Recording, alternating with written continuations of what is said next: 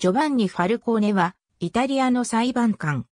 その生涯を、マフィア撲滅運動に捧げるも、盟友の治安判事、パオロ・ボルセリーノと愛前後して、マフィアの手で暗殺された。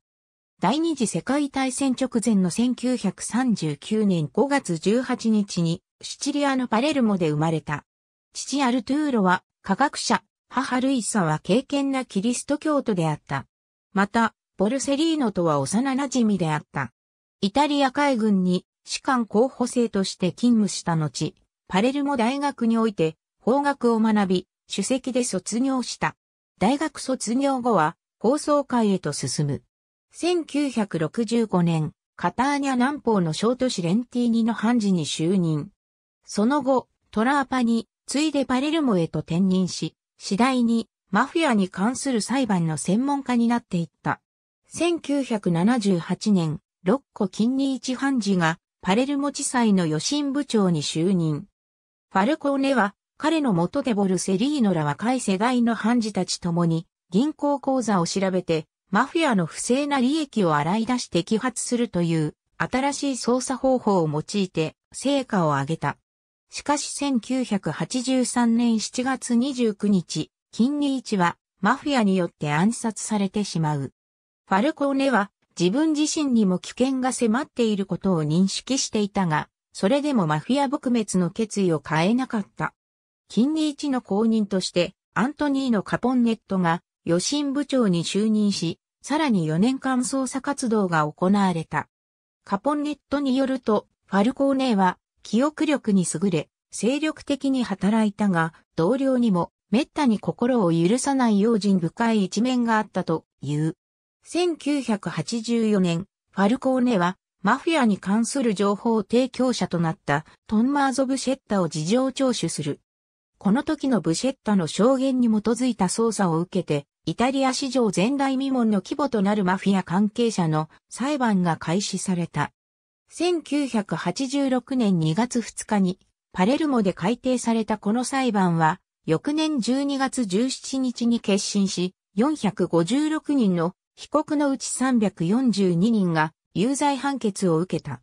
1988年には同僚の検事アントニーノ・メイリと対立し、マフィア捜査が出遅れることとなった。二人はカポンネット予審部長の公認をめぐって冷戦状態にあった。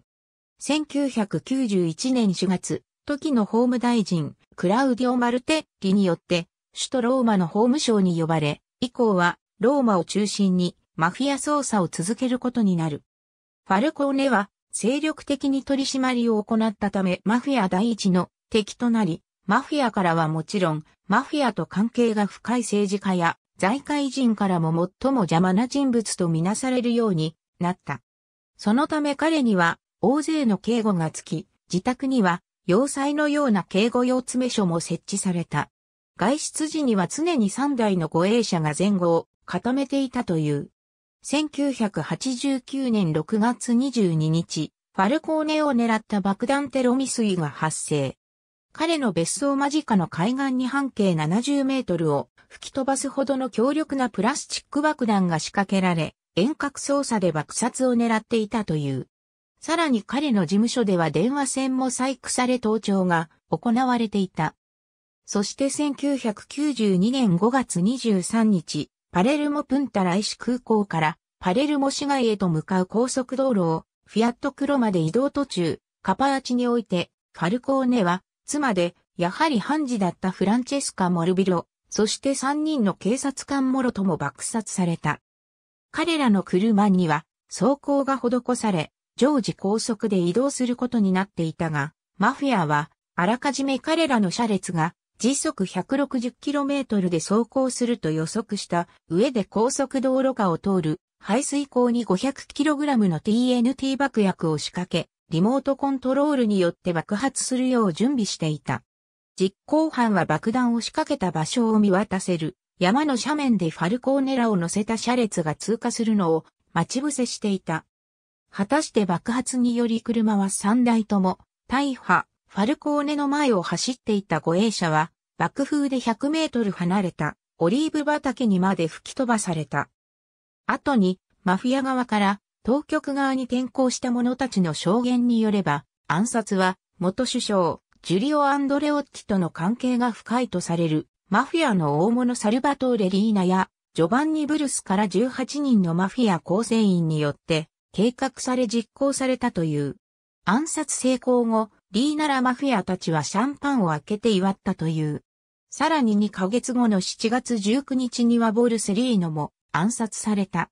しかし、これを機に、イタリア国民のマフィアに対する反感が一気に高まった。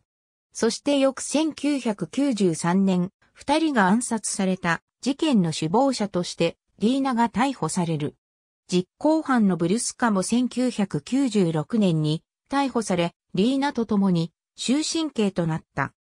ファルコーネとボルセリーノが暗殺された翌年、パレルモ市内で約1万人が彼らの死を悼んでデモ行進を行い、マフィアに対するデモとしては、イタリア史上最大の規模となった。また、パレルモプンタライシ空港は、現在、二人を記念して、ファルコーネ・ボルセリーの空港と呼ばれている。ありがとうございます。